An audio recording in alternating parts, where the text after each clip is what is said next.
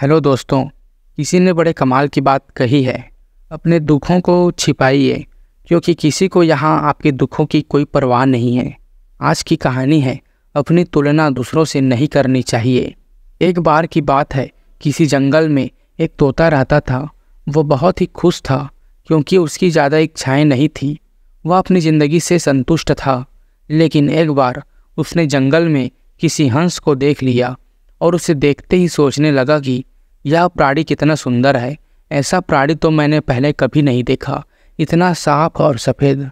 यह तो इस जंगल में औरों से बहुत सफ़ेद और सुंदर है। इसलिए यह तो बहुत खुश रहता होगा।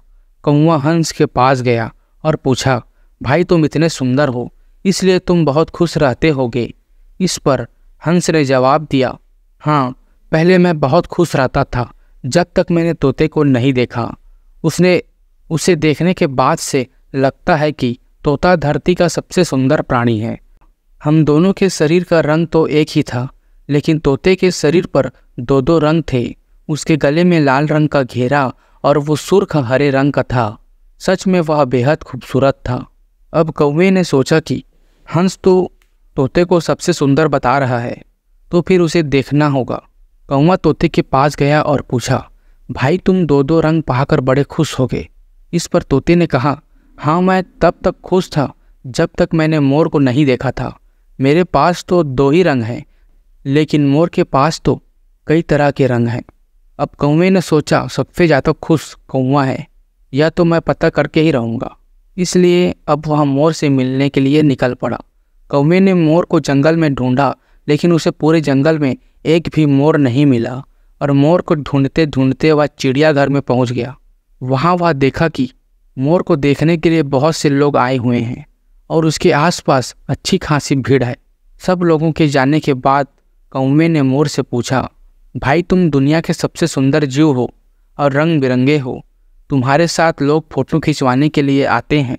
तुम्हें तो बहुत अच्छा लगता होगा और तुम तो दुनिया के सबसे खुश जीव होगे। इस पर मोर ने दुखी होते हुए कहा, भाई, अगर सुंदर हूँ तो भी क्या फ़र्क पड़ता है? मुझे लोग इस चिड़ियाघर में कैद करके रखते हैं, लेकिन तुम्हें तो कोई चिड़ियाघर में कैद करके नहीं रखता, और तुम जहाँ चाहो अपनी मर्ज़ी से घूम फिर सकते हो, उड़ सकते हो। इसलिए दुनिया के सबसे संतुष्ट और खुश जीव तुम्हें होना चाहिए, क्योंकि तुम आज़ाद रहते हो कौवा हैरान रह गया, क्योंकि उसके जीवन की अहमियत कोई दूसरा बता गया। दोस्तों, ऐसे ही हम लोगों के साथ भी होता है। हम अपने खुशियों और गुणों की तुलना दूसरों से करते हैं। ऐसे लोगों से जिनका रहन सहन का माहौल हमसे बिल्कुल अलग होता है। हमारी ज़िंदगी में बहुत सारी ऐसी चीज़ें होती हैं जो केवल हमारे पास है, लेकिन हम उसकी अहमियत समझ कर खुश नहीं होते।